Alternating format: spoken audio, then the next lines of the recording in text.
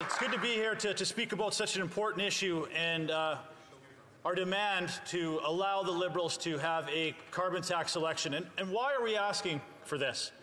Mr. Speaker, 70% of Canadians and 70% of the premiers are now asking or now saying that they oppose the Liberal NDP carbon tax because of the impact it is having on their everyday lives. And I find it interesting throughout the speeches today that my Liberal and NDP colleagues keep professing that, oh, this isn't impacting the cost of living, this is, has nothing to do with affordability.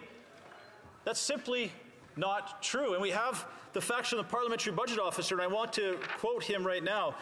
The Parliamentary Budget Officer testified at committee, and he said, once you factor in the rebate, but also the economic impacts, the majority of households will see a negative impact as a result of the carbon tax. And Canadians are waking up to this every single day, and certainly my constituents in Foothills who are paying $2,900 a year in the carbon tax. And the Liberals say, oh, well, they're so much better off.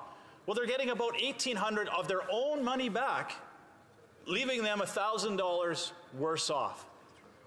And I don't understand why the Liberals and the NDP are fighting so hard to say that this isn't impacting the cost of living. Because they should be celebrating this every single day when they hear about Canadians struggling to feed themselves, heat their homes, pay their mortgage, or pay their interest rates. Because this is exactly what they want from the carbon tax. They want the carbon tax to be so expensive that it forces Canadians to change their behavior.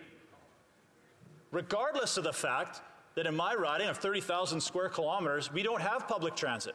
Doesn't exist. There are many parts of this country where we don't have alternatives. And that's what makes this so frustrating, why Canadians have just had enough of the Liberal NDP carbon tax coalition.